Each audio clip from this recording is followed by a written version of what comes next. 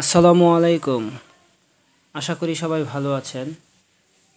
আজ আপনাদের দেখাবো আমার এক ছাত্রী নাম মুসাম্মদ ফাহিম আক্তার।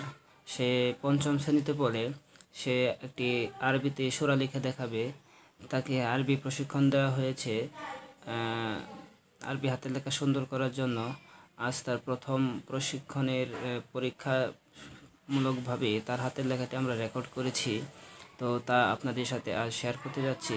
সে সোরা আহ, ইখলাস লিখে আপনাদেরকে দেখাবে।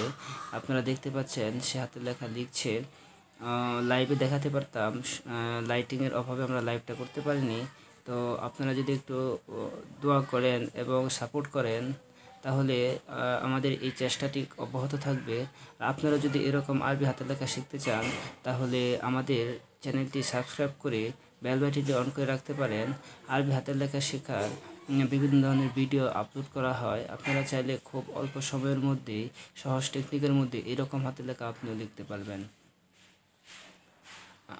আমরা ছোট ছোট ছেলে মেয়েদেরকে আরবি, বাংলা, ইংরেজি, গণিত সব ধরনের হাতের লেখার প্রশিক্ষণ দিয়ে থাকি। তো আশা করি আপনাদের ভিডিওটি ভালো লাগবে। আর আপনাদের মতামত কমেন্ট সেকশনে এসে জানাবেন। ধন্যবাদ সবাইকে